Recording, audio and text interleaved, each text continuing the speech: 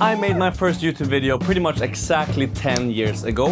In 2024, I have received around 50,000 views and here's a complete breakdown how much YouTube pays me as a small YouTuber. I should preface this by saying that I am a small YouTuber, a very small YouTuber. In fact, I'm probably within the 10% most subscribed channels, which is not a lot. I have at this point in time 2,800 subscribers and around 250,000 total views on my channel. I have, however, made a lot of videos, and I mean a lot of videos. 135 long form videos can be found on my channel to be exact, all from starting a startup, which is my original series, to random videos, to the daily vlog, which I'm currently running. I have recently started vlogging, and during this time I have seen a significant uptake in growth on my channel, as well as a significant uptake in how much money I've made, new subscribers, and watch hours. In 2024, it has been very bottom heavy in that since May, I've made around 20 videos, and in the beginning of the year I only made around three. So there was a gap where there wasn't a lot of videos and now towards the end there's been quite a lot of videos which can explain the bump you're seeing on the screen right now. However, what's interesting is that my top performing videos from 2024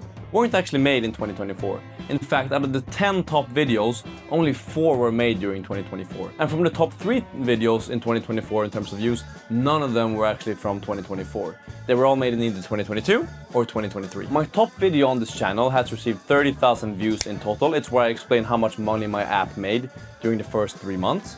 And from these 30,000 views, actually 17,000 have come during 2024. And as you can see, there's relatively few views in the beginning, and the number of views have started to pick up now during the last two or so months. This is the interesting thing with YouTube. You can post a video, and this YouTube video can live forever. So this was posted in November of 2024, and up until January of 2023, I hadn't really gotten any views. And then it started to pick up and got a couple of views every day for the remaining year. And then in January of 2024, almost a year and a half later, it actually started to pick up in terms of views. So in total, for these 30,000 views, YouTube has paid me $87. And in 2024, of those 17,000 views, YouTube has paid me $58. However, I should preface that the reality looks quite a bit different. My average video gets around 300 to 400 views, with some videos getting as little as 100 views and some videos getting around 2000 views. And from the daily vlogs, it's varied quite a bit. Some videos get 100 views, one video has gotten 2000 something views, and most videos get around 3 to 400 views. For instance, one video that I made received 1700 views in the first three or so days, and then flatlined completely, getting no more views, which is quite typical for those types of vlogs. It was published three weeks ago, and it's made approximately $1.7 since then. And this is the story for most of my videos, with most of the videos making between 1 and $2 over their lifetime, but some videos peaking and making a little bit more, such as the one I talked about previously that made $87, or some of the other ones which have made $14, $15, 20 dollars, stuff like that. However, for 2024 in total, I have received 50,000 views, which is equated 1,800 watch hours. Now, this is important to preface because watch hours and views are different. Watch hours are a much more valuable indicator than views are because one can receive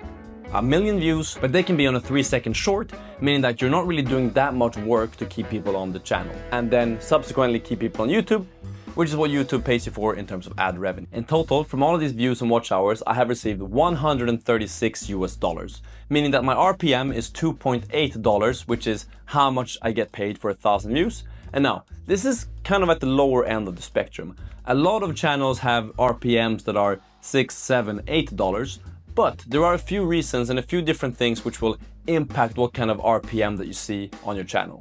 So firstly, I should point out that my audience is 93% male, and depending on your category, having a female audience is typically more valuable as a lot of the ads or a lot of companies are spending more to reach a female audience. Not sure why, that's just a fact I read on Google. So my audience is 93% male, which lowers the RPM that I receive on my channel a little bit, but not significantly. A big difference is the demographic, so where in the world is your audience watching from? And I have, thankfully, which I really enjoy, quite a global audience. So around 15% of my total audience watches from India, and then 15% watches from the UK and the US combined, and then 10% is other European large countries, and then it's very spread out from there with I'm getting getting views from pretty much every country in the world, but you know, just a couple every month or so but I have a very global audience, meaning that it's not very centered on the US or Western Europe, which does lower the RPM a little bit. Secondly, I have a relatively young audience, so typically you see less money from a young audience, so around half of my audience is between 18 and 24, which is a student demographic. And as you know, students are not really known for having much money, which means that they're not super valuable to advertisers, and that means the advertisers are not willing to pay as much to reach this particular audience.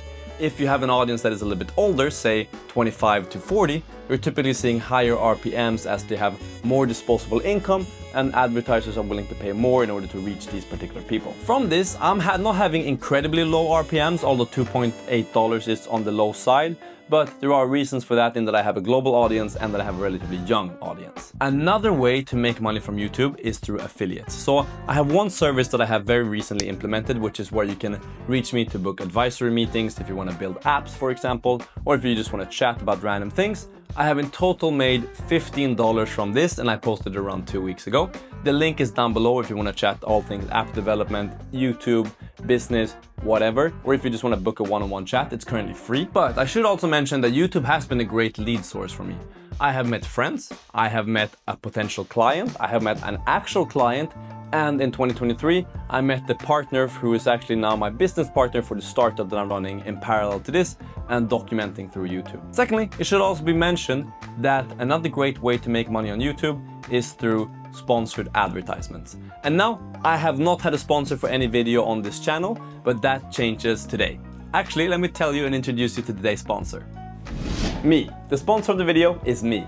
Since I don't have any other sponsors, I have to sponsor this video myself and I am recommending you to check out my app VenturePals. VenturePals is a social accountability platform where you can dating app style swipe through CVs of people, match with them, and then chat to them. And if you're like-minded, if you like each other, you can apply to be venture pals. If you're a venture pal, you connect to each other for 3 to 30 days, and you can then keep track of each other's tasks. This is how I met my actually now co-founder of this venture pals by being venture pals for a couple of months we figured out this is a great idea we're keeping ourselves so much more accountable we're doing our tasks to such a much better degree and it's just a fun way to connect with people around the world, talk to them, get your tasks done. So essentially, you match with them, you're productive together, you can see their progress for the week, they can see your progress for the week, and you can make sure that you keep each other accountable.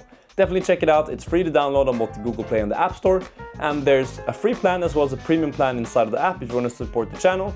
Please download it, leave a good review, test it out. Feel free to subscribe if you like to. But now, let's get back to the video. But that is a pretty complete breakdown of my YouTube journey what my statistics look like, what my YouTube videos generate in terms of income and views. So there you have it, 50,000 views, $136 and 1,800 watch hours from an audience that is very global, very spread out and relatively young in terms of age, which is what leads to the relatively low RPM. As you can see, I've made a lot of YouTube videos about coding, apps, that kind of jazz. If you like that kind of stuff, feel free to subscribe. It's actually completely free of charge. What a bargain. Thanks so much for watching. I will see you in the next one. Peace.